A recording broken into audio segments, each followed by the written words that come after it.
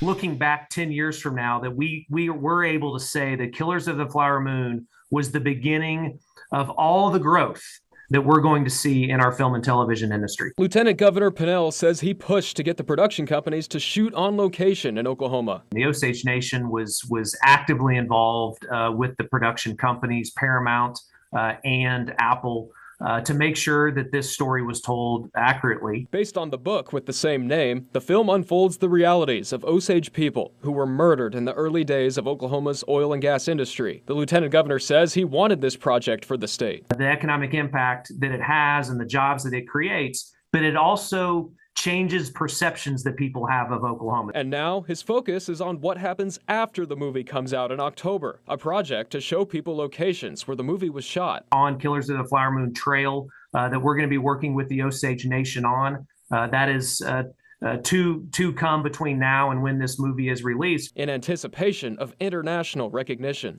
I've told our film office we better be ready when people watch this movie. That me- people are going to show up in Oklahoma after they see this movie to see where this film uh, was